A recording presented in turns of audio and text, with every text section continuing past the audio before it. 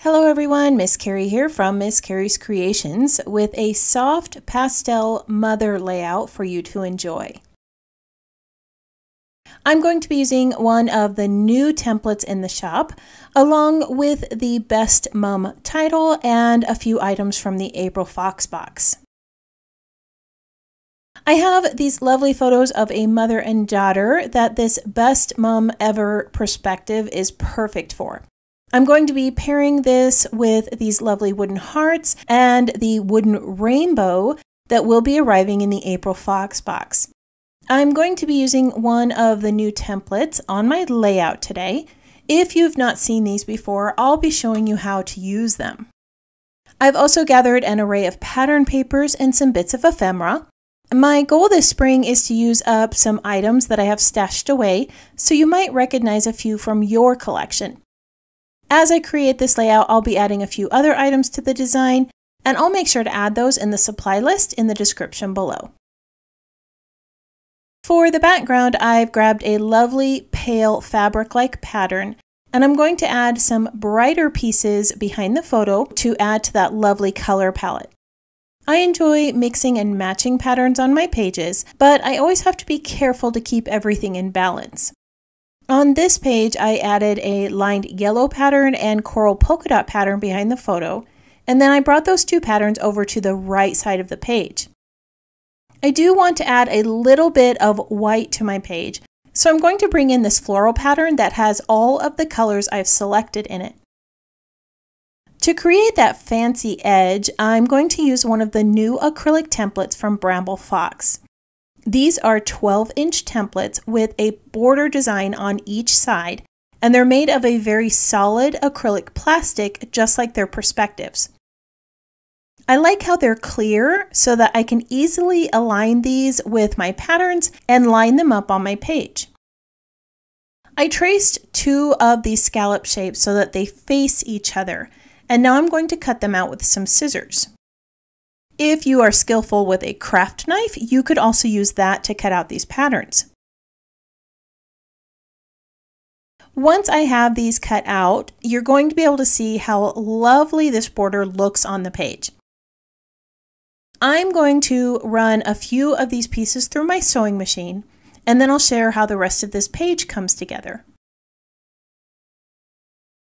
Off camera, I added stitching around all of the pieces. I'm going to use a punch to create two little holes on either side of this border because I want to add a little bit of lacing with some twine or ribbon. Before I adhere everything down, I do want to add a little bit of stenciling between the two border pieces. I'm going to bring in the small heart stencil and some speckled egg blue ink and I'll add a few soft hearts to the page. You can see over there on the left that I tested a few colors first. I often do this when I can't decide on which color to use. I knew that that portion of the page was going to be covered with the photo, so I used it as a test area.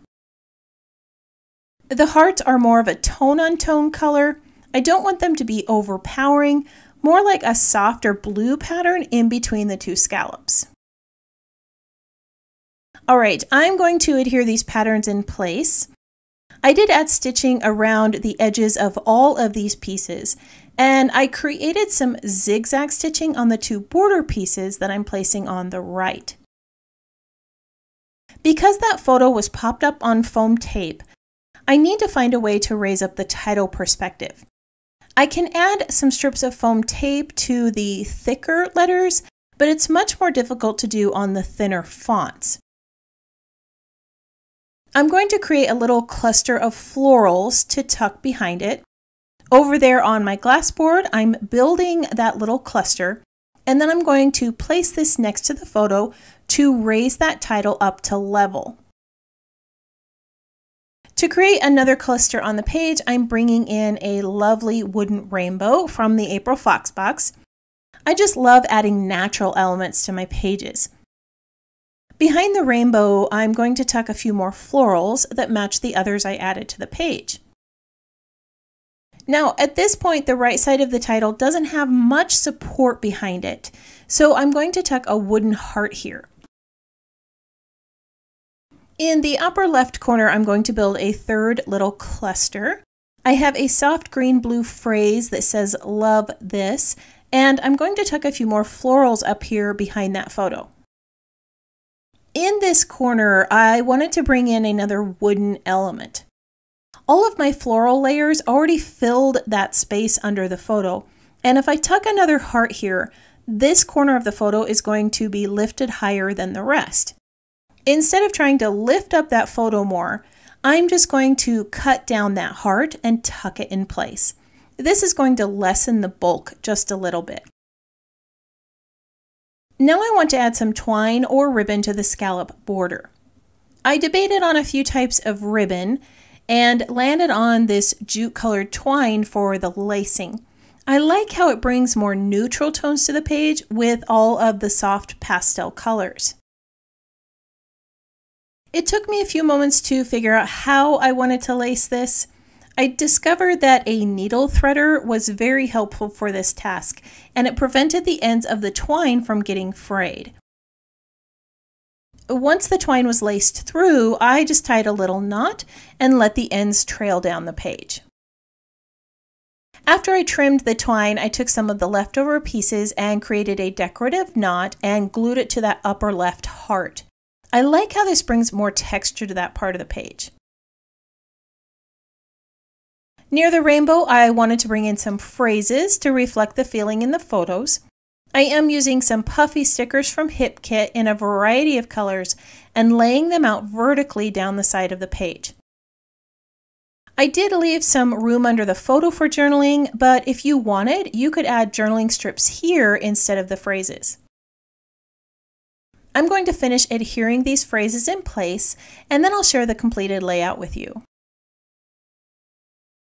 Off camera, I added some more zigzag stitching to the left side of the page. This created a set of three zigzags on my page and brought more texture to the design. I also added a few puffy hearts near the phrases and one near the title. The pinks are not identical in color and they don't quite match the title, but it's just enough to bring more of that color to the page. I'm going to share some close-up photos of this layout so that you can see all the lovely details. Today's project records a sweet mother-daughter memory on a bed of pastels and florals. The border design added a charming feminine touch to the page and it was simple to create with the acrylic template. I like how I was able to do a little stash busting on this page, mixing and matching elements from various collections, and I like how the new perspextives and wood elements matched all of these items perfectly. I want to thank you again for joining me as I created another scrapbook layout. If you would like to see more of my projects, you can visit my channel or follow Miss Carrie's Creations online. If you have any questions about this project or supplies listed below, feel free to leave me a comment. I hope that you have a wonderful week, and I can't wait to see what you create.